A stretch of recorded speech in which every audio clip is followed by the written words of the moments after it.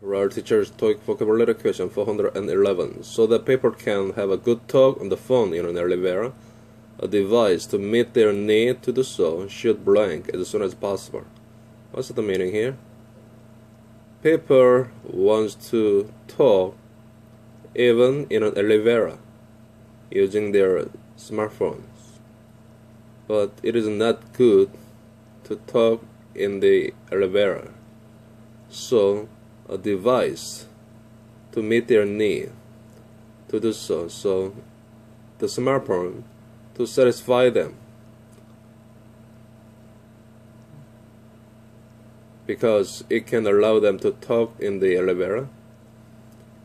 The smartphones should be made, should be produced, should be introduced as soon as possible. Okay, so the be C. Be introduced. Okay, because this should be passive form. A device is introduced, not introducing. Answer should be C. 보시면 so that can을 위하여죠. people 사람들이 have a good talk on the phone.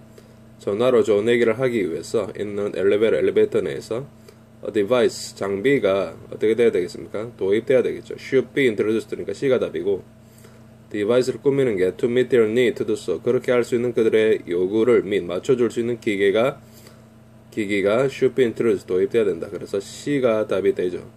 so that can 같은 경우는 in order to so as to 그냥 to 할 수 있는데 의미상의 조가 people이니까 in order for people to have a good talk so as people to have a good talk 내지는 so as나 in order 빼고 for people to have a good talk이라고 쓸 수도 있겠습니다.